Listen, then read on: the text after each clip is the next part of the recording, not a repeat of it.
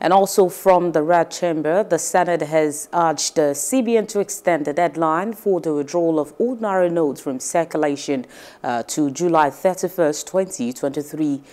The resolution of the Senate was equal to a motion moved by the senator representing Kwara North, uh, Senator Suleiman Sadiq during plenary. Suleiman, in his uh, league debate, noted that if the withdrawal of old naira note from circulation is not extended beyond January 31st, many Nigerians will be thrown into serious hardship. And while supporting the motion, other lawmakers maintained that the call for the extension of the deadline date should be considered as a matter of urgent national importance. Meanwhile, Senator Sam Egwu has called for the implementation of the policy, stating that the country is ripe enough to implement it.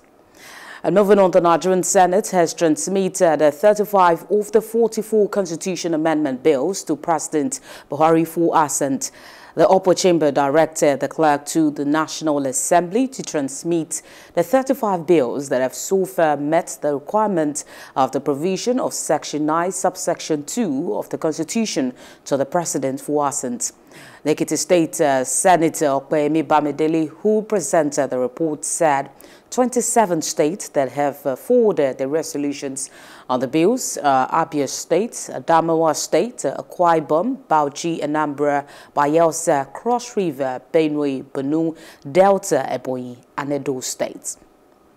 One, direct the clerk, direct the clerk to the National Assembly to transmit the 35 bills that have so far met the requirement of the provision of Section 9, subsection 2 of the Constitution to Mr. President and Commander-in-Chief of the Armed Forces of the Federation for assent in line with the provisions of the Acts Authentication Act.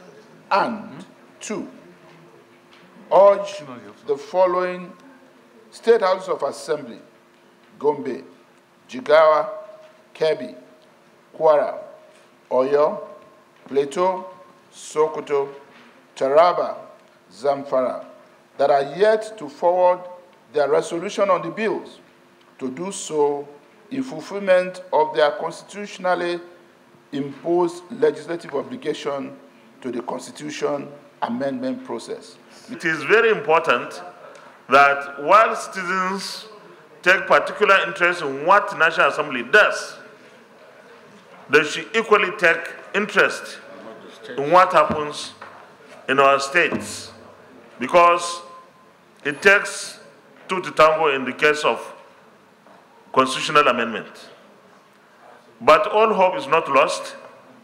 We hope that the, the few that are left will make the difference that we need.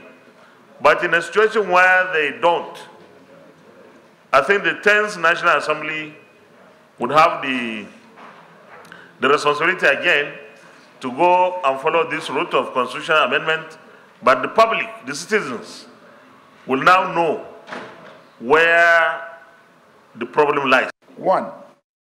The Senate also appealed to the remaining states to send theirs as soon as possible. The 35 bills have been considered by a 27 State House Assembly and approved by at least uh, 24 state assemblies as required Hello, hope you enjoyed the news. Please do subscribe to our YouTube channel and don't forget to hit the notification button so you get notified about fresh news updates.